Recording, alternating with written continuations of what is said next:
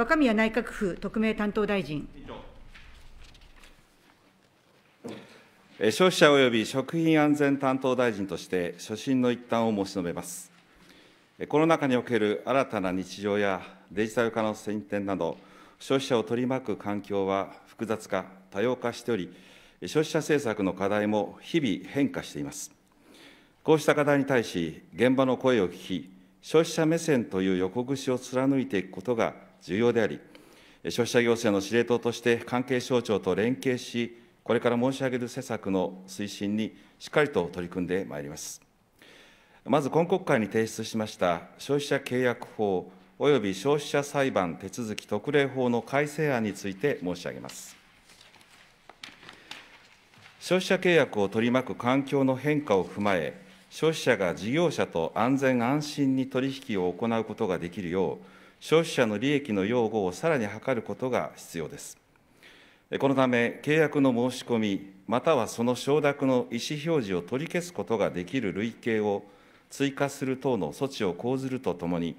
消費者団体訴訟制度が消費者にとって利用しやすく、消費者被害の救済がされやすいものとなり、さらには、それを支える団体の活動が促進されるよう、被害者救済手続きの機能向上を実現してまいります。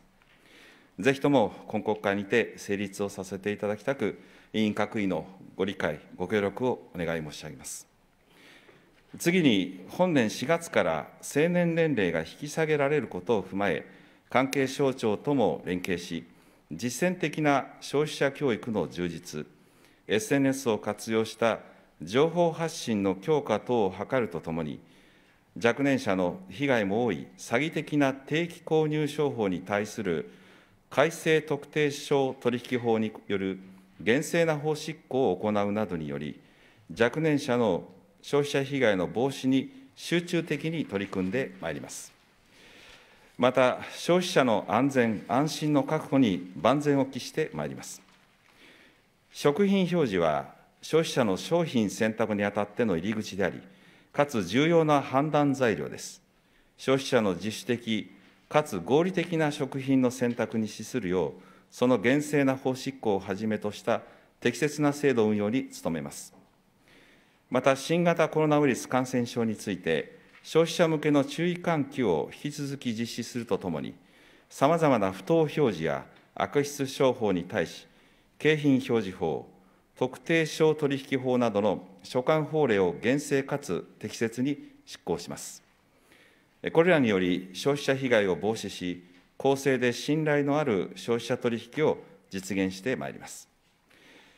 食品の安全に関しては、関係省庁とも連携しながら、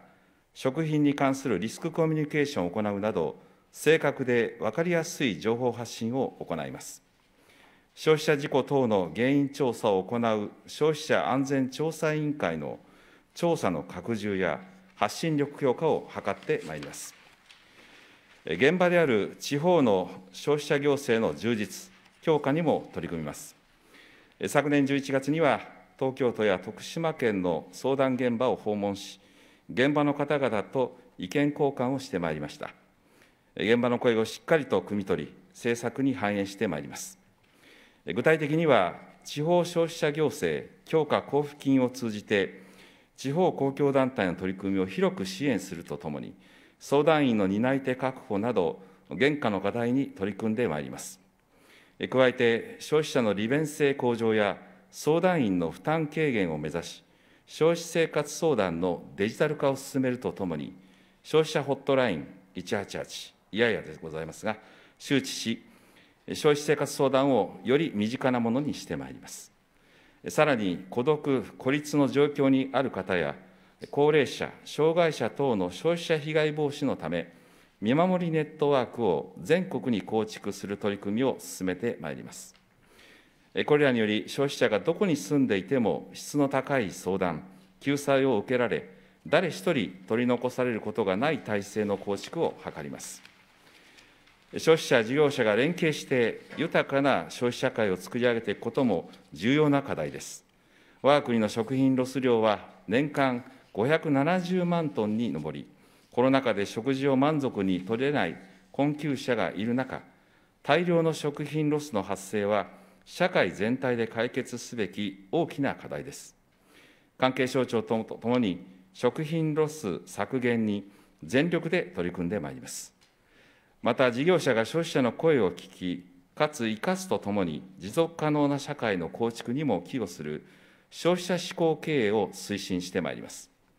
作る責任、使う責任の考え方の視点で、多様な課題に対し、国、地方公共団体、事業者、消費者等の連携による取り組みを進めてまいります。最後に徳島に設置した新未来創造戦略本部では、引き続きモデルプロジェクトや政策研究、新たな国際業務等を実施することにより、消費者行政が直面する先進的課題への対応を進めてまいります。以上の施策の実施にあたっては、担当大臣である私の下、消費者庁、消費者委員会、国民生活センターの緊密な連携を図り、それぞれの役割を最大限発揮させながら、消費者の安全安心の確保と、豊かな消費社会の実現に全力を尽くしてまいります。船山委員長をはじめ、理事、委員各位のご協力とご理解を賜りますよう、お願いを申し上げます。はい。以上で所信の聴取は終わりました。本件に対する質疑は後日に譲ることといたします。この際、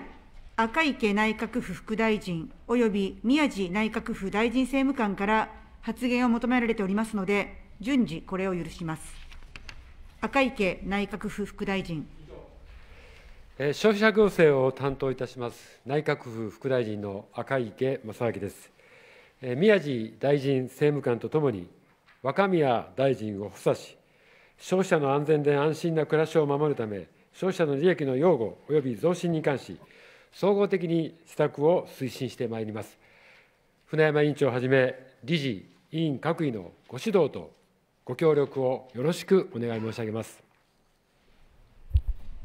はい。宮地内閣府大臣政務官。委員長。えー消費者行政を担当いたします、内閣府大臣政務官の宮地隆馬です。消費者の安全で安心な暮らしを守るため、赤池内閣府副大臣とともに、若若宮大臣を補佐してまいりますので、えー船谷委員失礼しました。船山委員長をはじめ、理事、委員各位のご指導とご協力をよろしくお願い申し上げます。はい、えー次に、消費者安全法第13条第4項の規定に基づく、令和2年度消費者事故等に関する情報の集約及び分析の取りまとめ結果の報告に関する件について、政府から説明を聴取いたします。